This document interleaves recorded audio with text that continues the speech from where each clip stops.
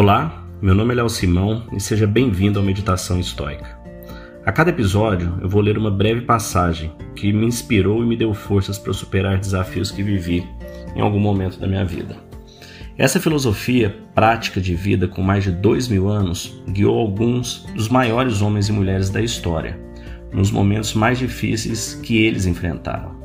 Espero que ela também possa te ajudar. Para maiores informações, visite Meditação Estoica no Instagram.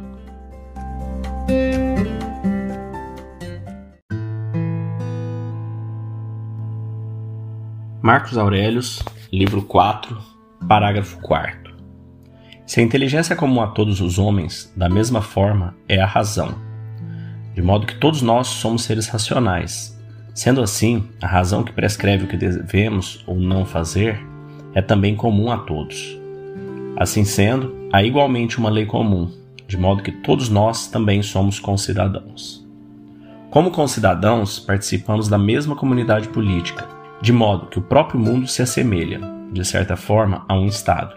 Pois, de qual outra comunidade política em comum se poderia dizer que faz parte toda a raça humana?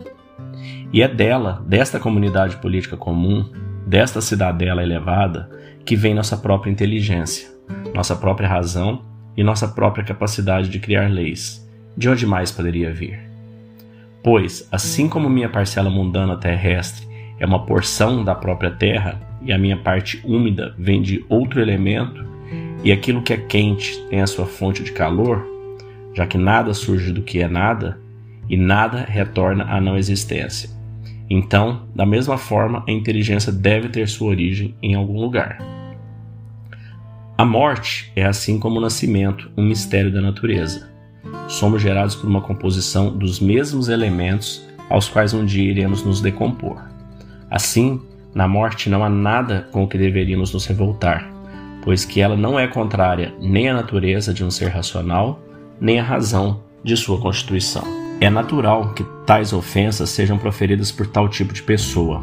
É simplesmente assim que as coisas são. Desejar que fosse de outra forma seria como querer que o figo deixasse de ser suculento. Mas tente, a todo custo, manter isto em mente: que num curto período de tempo, tanto você quanto ele estarão mortos e não muito depois até mesmo seus nomes serão esquecidos. Mande embora a opinião e a queixa será despachada junto com ela. Eu fui ofendido? Suprima a sua interpretação do ocorrido e a ofensa em si será igualmente suprimida. Aquilo que não torna um homem pior do que é, tampouco pode degradar sua vida.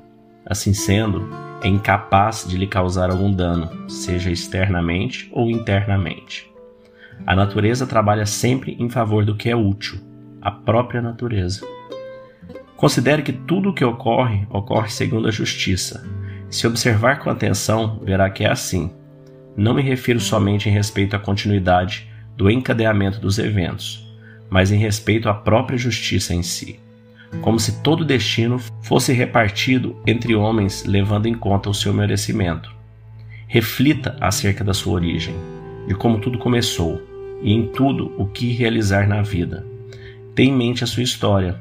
Busque ser um homem bom, na essência do sentido de ser bom.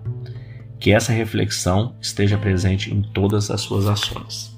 Evite enxergar as coisas pelos olhos daqueles que lhe ofendem, tão pouco como ele gostaria que as enxergasse, mas olhe para ele com seus próprios olhos, contemple-o como ele verdadeiramente é.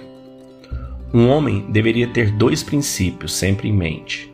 Primeiro, agir sempre de acordo com o conselho de sua alma reinante. Segundo, estar pronto a mudar de opinião e de conduta se cruzar em seu caminho alguém que saiba lhe corrigir, de tal forma que você veja razão para renunciar a alguns dos seus pontos de vista. Mas tal mudança de opinião deve advir de um motivo razoável, da justiça, do bem comum e coisas assim, e não somente porque ele parece ser algo agradável ou que possa aumentar a sua reputação. Você é dotado de razão? Sim, eu sou. Por que então não a utiliza? Pois se a razão trabalhasse por si mesma, qual parte lhe caberia? Você tem existido como uma parte do todo.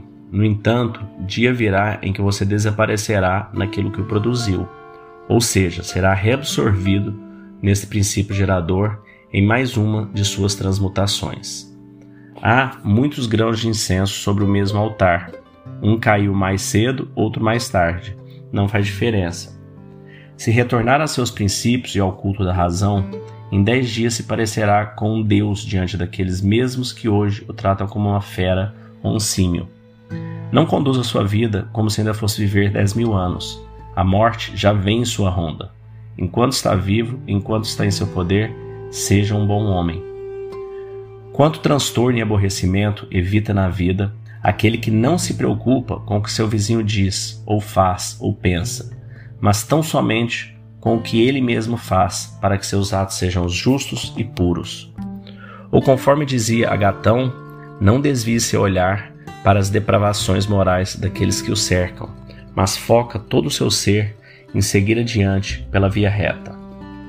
Aquele que nutre um desejo veemente de fama póstuma não considera que cada um daqueles que eventualmente lhe guardarem na memória também partirão deste mundo logo após. E da mesma forma, aqueles que irão sucedê-los, geração em geração, até que todo o resquício de sua memória por fim desvanecerá, após percorrer vidas que se acendem e apagam como frágeis chamas de vela. Mas, ainda que os que se lembram de você fossem imortais e que sua memória fosse indestrutível, o que isso significaria exatamente para ti? E não me refiro ao que a fama significa para os mortos, mas antes para os vivos. De que lhe vale toda a glória e aplauso, senão para lhe seduzir a tomar atalhos na vida? Despreze então toda ilusão, toda alegoria externa e se preocupe em tornar bela a sua própria essência. Tudo que é belo, de alguma forma, é belo em si mesmo. A sua beleza contempla a si mesmo, não depende do que é externo, nem tem a necessidade de ser louvada. Da mesma forma, ela não se tornará nem melhor nem pior pelo simples fato de ser admirada. Afirmo mesmo para as coisas que são consideradas belas pelo vulgo, como por exemplo, bens materiais ou mesmo obras de arte. Aquilo que é verdadeiramente belo não necessita de nada além da lei da verdade da benevolência e da modéstia. Afinal, o que se faz belo somente porque é louvado? O que se torna horrível somente porque é censurado? Acaso uma esmeralda perderia alguma parte de sua beleza se deixasse de ser louvada? Ou o ouro, ou o marfim, ou a lira, ou punhal, ou a flor, ou o arvoredo?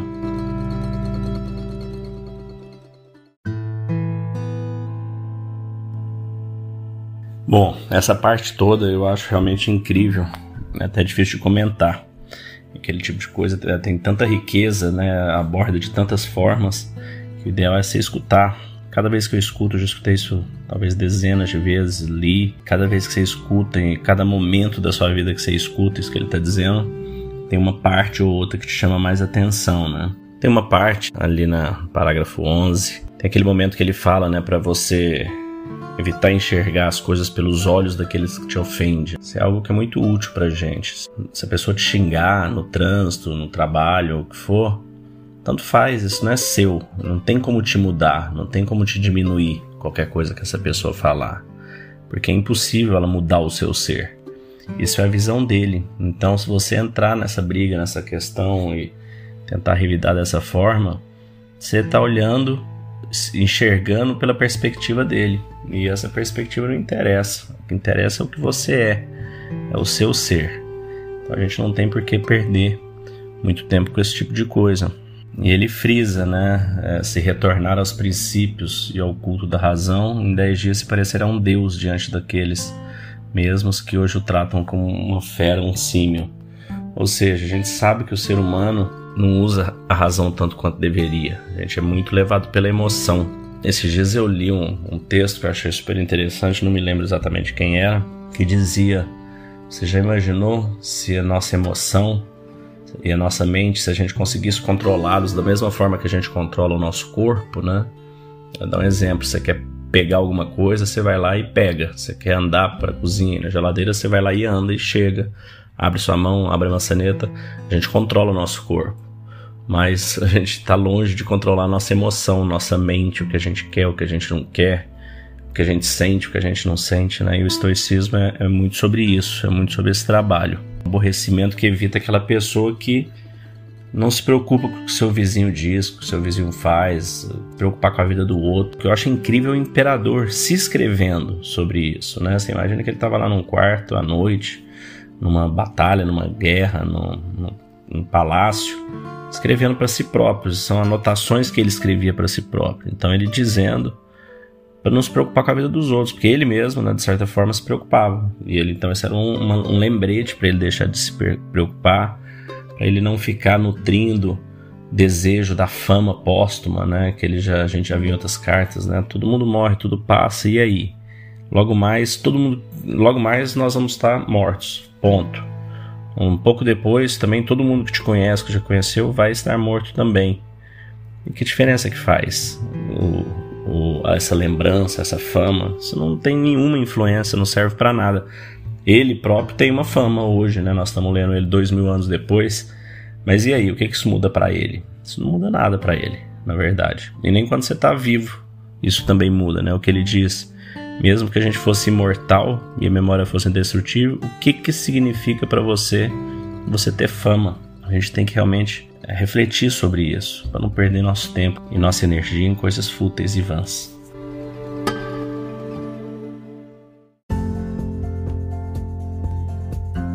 Se você gostou desse podcast, deixe seu like, siga nosso canal e compartilhe. Alguém pode estar precisando escutar isto hoje. Seja você a pessoa a levar esta mensagem de força e resiliência.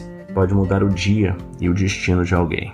Estoicismo é uma fórmula que nos ajuda a superar os desafios e dificuldades da vida. Você pode nos escutar diariamente no Spotify, Apple e Google Podcast. E também no Instagram, buscando por Meditação Estoica. Fique com Deus e tenha um dia de abundância e paz.